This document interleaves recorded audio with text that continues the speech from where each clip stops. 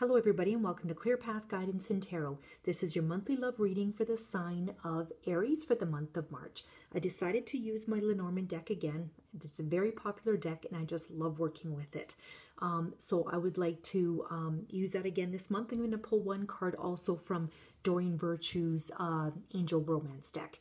Uh, if you're new to the channel, a little bit about myself. I'm a clairsentient, which is a heightened form of empathy. I read people.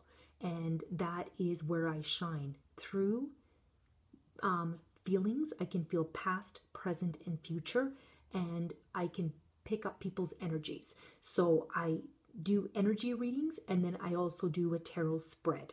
Um, so if you're having trouble and, and you're just not sure where things are in your relationship, I um, can tap into other people's feelings. I can feel what they feel, and through feelings, I can feel where things are going to go. All right. Um, if you're interested in a private reading from me, please just email me. My email address will be at the bottom of the link, and I will send you all the info on how to get a private reading. All right. It's as simple as that. I don't have a lot of stuff, as in blogs and websites and things like that. I have an email address and a YouTube channel, and that is it. All right. Okay.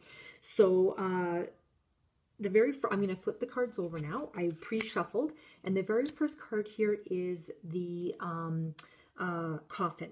And the coffin typically it shows uh, an important transformation. It's kind of whoops. It's kind of like death in a way. You can see the fellow here laying down, and um, uh, it's either an end in a relationship a change in, of residence or retirement or a completion of some sort of a cycle. Being that this is a love reading, um, I'm going to say that this is an end, end of a cycle or a transformation of a relationship. All right. These changes aren't always in negative, they can be positive. All right. Maybe you're done. You're tired of um, a relationship the way it's been, and this cycle is ending. All right.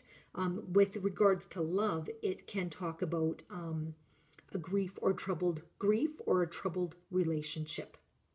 All right. Um, so now these cards are typically read in pairs. So the next card is the anchor. So now we have the anchor and the coffin together. So there's the anchor. Um, together, this talks about security and longing for something. Okay. So here we have the end of a cycle. All right, there's going to be changes. It's a transition. You're longing for something. I don't know if you're longing for a new relationship or longing for security or whatever the case is. Typically, the, I keep knocking this. Okay. Typically, the um, anchor talks about um, someone reaching a destination. And when you get to the destination, um, all everyone has survived. All right and that anchor kind of anchors you to wherever you are and now it's to kind of it's it's safe enough to rest and restock and have some fun. It's kind of like um uh recharging. All right? Um it means also in love that it could be uh, uh, a stable a long-term stable relationship so here we have this change of something ending, something new is coming. There's a transition here, a death, a, a cycle is over. Time to, to kind of, you got through this okay, you know, time to go ashore and have a little bit of fun and um, time for some change. There's something coming here and you've survived it. All right. And you can expect a long term, stable love relationship to come. All right. Okay. So the next one here we have is bouquet. Very nice card. I like the bouquet. And the bouquet is something positive.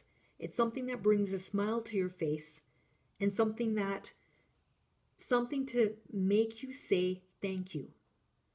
And that a sign that everything is good when the bouquet shows up. And uh, in love, it talks about um, something nice is going on. And in love, it talks about something really great occurring. All right. So it's very nice here. End of a cycle. All right. Here's the end of the cycle. All right. End of um, uh, perhaps a relationship you're longing, you know, it's time, it's like safe now to go ahead, have a little bit of fun. Something better is coming along. All right. And here it is, the bouquet. Something's going to be putting a smile on your face. All right. That everything is good when this shows up. Everything you've gone through has been worth it because it, this bouquet says it's going to be good. All right. Um, something really great is going to occur for you, perhaps for the month of, of March. And the card that I pulled is worth waiting for. Divine timing is at work in your love life. So this card here is saying that whatever you've gone through, whatever you've gone through here, with these three, three cards, this transition, this ending, all right, it was all worth it because it was it's worth waiting for that, but it's just divine timing and it's at work in your love life. All right. Okay, everybody, hope you enjoyed this reading. I want to thank you all for subscribing, for liking my videos, for all of your comments. I truly adore and love each and every one of you. And I hope that these readings bring you some sort of answers um, or they resonate with you in some way. All right, like again, um, if you're interested in a private reading, please email me and I will send you all the details.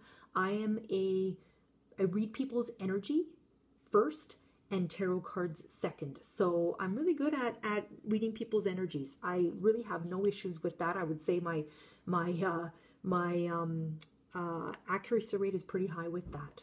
So, all right, everybody, have a great March, and I hope you have a wonderful uh, month of springtime and love coming your way. All right, bye bye.